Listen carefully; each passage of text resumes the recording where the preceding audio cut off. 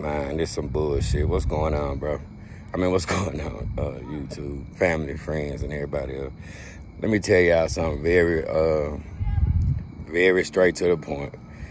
Wasn't no employees inside Makeda's that day. Them employees was next door at the Family Dollar.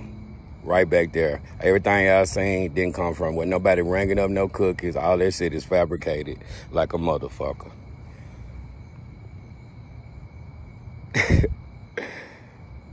Man, I don't know how the fuck they thought they were gonna get away with this bullshit with all these goddamn hoes in this goddamn cover store. If only Big Mouth would have shut up, it would have been harder. It still has been hard. So let me say this again. And I'm just gonna make this one point and get the fuck up out of here because I cannot. no employees was inside that fucking raggedy ass cookie store when Dolph was placed in there. Maurice Hill, you couldn't clean up all this shit as you was cleaning up, mopping up uh, uh, blood. You mopping up blood that wasn't even there with a dry ass mop, and it's clearly caught on video. So you couldn't mop, you couldn't mop none of this shit up. But that that would explain a lot. Now to Dr. Kia Moore, the one that set up this GoFund to pay these goddamn motherfuckers what they was due. They was used and coerced. Everybody that had on a Makeda shirt that day. And one of y'all didn't even belong there. What you know about that shit? Everybody had on uniform that day has got paid off. That's what that GoFundMe was for. So she claimed uh, they lied to her, the Hill family lied to her you might be lying to us. But one thing we know, uh, they definitely motherfucking lying.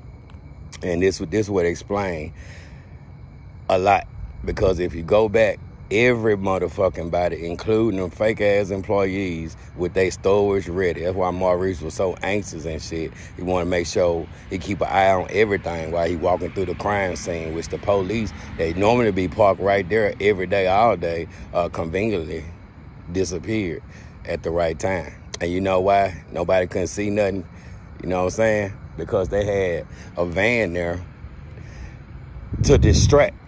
This is verified information, so there will be no motherfucking allegedly. I'm gonna make it very short because I know a lot. I'm gonna let this sink in right quick and just imagine a whole everything that you know and heard is some bullshit about these Makeda employees. But one thing that's true is that they collected money. Very smart people but not smart enough to pay these folks to hush hush, hush hush. So they got paid and sent to counseling for some shit that they ain't see. Uh, paycheck still coming in. We're gonna be closed down for a few months. We're gonna pay y'all anyway. It ain't our money, but uh, it's a part of the cover up. Shut the fuck up, cause we got people on standby in case you don't. And one person ain't supposed to be there. Wasn't supposed to be there that day. And I'm, I'm gonna make another video about that. That ain't true, man. Let that shit soak in. And then I get back with y'all. Like, share, subscribe. I always fucking support. It's a lot of shit going on behind the scenes right now. And uh, I think it's very good. Matter of fact, I believe with all my heart that uh,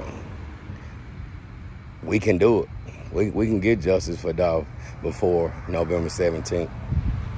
Because the Fed doing their job.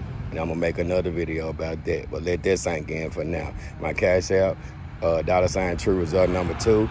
And uh, everybody can finish this sentence. Make it do what it do. I love y'all. I'm gonna holler at y'all later. And uh, let me say this right quick before I go. Remember other video I told y'all some funny shit? Well, now it's confirmed. Why is the feds? I know y'all doing y'all job and I know y'all watch YouTube, but why y'all telling me? True, man.